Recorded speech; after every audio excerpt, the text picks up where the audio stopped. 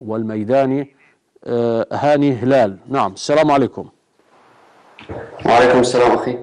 آه، ما هي آخر المستجدات لديكم اليوم لو بدأت آه، بتلخيص مجمل التطورات الحاصلة لديكم؟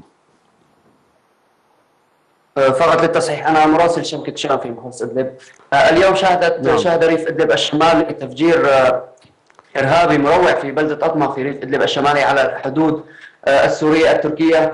آه، استهدفت آه، سيارة مفخخة مشفى أطمة على حدود آه، تركيا.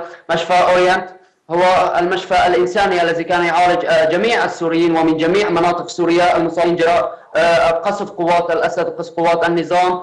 آه، تم استهدافه بالسيارة المفخخة. أدت آه، هذه التفجير إلى حد الآن أكثر من ست- آه، 16 شهيد. تم توثيقهم وعشرات الجرحى آه، هناك عشرات الجرحى أكثر من 60 جريح حتى الآن. آه، بعض الجرحى حالاتهم خطرة. ما زالت آه، إلى الآن ال- ال- اعداد الشهداء قابله للتزايد في بسبب خطورة ال- الجرحى. تم نقل الجرحى مغلب أغلبهم إلى مشافي في تركيا ومشافي باب الهوى نعم. الطبية.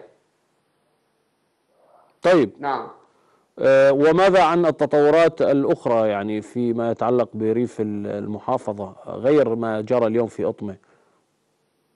آه، هي معارك دائرة منذ عدة أيام أطلقها الجيش الحر آه، جنوب معرة النعمان ابتداء من آه، ريف معرة النعمان الجنوبي من قرية آه، الحامدية وحيش وبسيدة وبابولين. هي معارك آه، دائرة منذ عدة أيام آه، ضد قوات النظام تقوم بها شنتها قوات الجيش الحر بهدف آه، تضييق الخناق على معسكرات وادي الضيف وقطع الإمداد. وأيضا آه، معارك ضارية أيضا في آه، مدينة خان شيخون. البارحة كان هناك تفجير عدة دبابات على طريق الموت بين معرة النعمان وخان شيخون. أيضا كان هناك محاولات عديده لاقتحام عدة حواجز أسدية في مدينة خان شيخون. أصيب عدد من قوات الجيش الحر تم نقلهم إلى المشافي. أيضا تم نعم. تفجير عربة شيركة وع- ودبابه البارحة ليلا. في حواجز خان شيخون هي معارك آه، قوية جدا اطلقها الجيش الحر بهدف نعم. مستغلا قطع الأستراد بين آه، محافظة إدلب وبين محافظة حماة حيث قطع الأستراد من من بين بلدة مورك وبلدة آه، سوران طيب يعني بالعودة إلى التفجير الذي حصل اليوم في مدينة أطمة في ريف إدلب الشمالي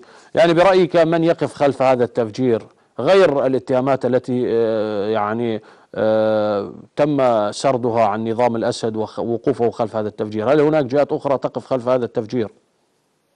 يعني من يقف وراء هذه التفجيرات هو من فجر آه، منذ آه، سابقا من فجر آه، حواجز الجيش الحر وحواجز السوار ومن فجر يعني داعش. المركز الثقافي أيضا في ريف ساقب هي هي لا يوجد أي معلومات أكيدة من هو ولكن نظام الأسد ليس لديه انتحاريين يدخلون في سيارة مفخخة ويفجرون أنفسهم، نظام الأسد ليس لديه هؤلاء الأشخاص. ولكن مؤكد من من يقوم بهذه التفجيرات هو يصب في مصلحة الأسد وهو عميل للأسد بشكل أو بآخر. مم يعني واضح أنها داعش يعني مثلا باعتبار أن هناك يعني آه، حالة شد وجذب بين آه، مؤسسة الأورينت وداعش يعني منذ مدة طويلة وهناك يعني عملية اعتقال جرت لأحد مراسليهم عبيدة بطل في ريف حلب نعم. الشمالي على ما أعتقد. نعم. نعم في ريف حلب. آه، طبعا آه، هي هي داعش. يعني عندما خرج علينا آه، العدناني وهو المتحدث باسم داعش كان يهدد ويقول سنقتلكم أيها الصحوات وشرابنا دماؤكم. وأنيسنا أشلاؤكم هذا آه. كان كلام داعش يعني شرابنا- اعتراف صريح جدا منهم طيب. ليس اتهام منا فقط شرابنا كما يقول أبو محمد العدناني شرابنا دماؤكم وأنيسنا أشلاؤكم يعني حتى الأطفال والنساء اليوم في أطفال يعني مرضى وجرحى آه، قبل أن يتم هذا التفجير آه، استشهد منهم ال- العشرات وجرح منهم العشرات يعني حتى الأطفال أصبحت دماءهم أنيسة لداعش أيضا. نعم حتى الأطفال هم هم يعتبرون كفار. يعني كل شخص لا يبايع أمير المؤمنين آه كما يسمونه أبو بكر البغدادي كل شخص لا يبايعه فهو مرتد وخارج عن الدين وخارج عن الإسلام. من فجر في دركوش منذ فترة بين ال- الناس و- وأرعب ال- ال- الناس عندما كانوا نائمون.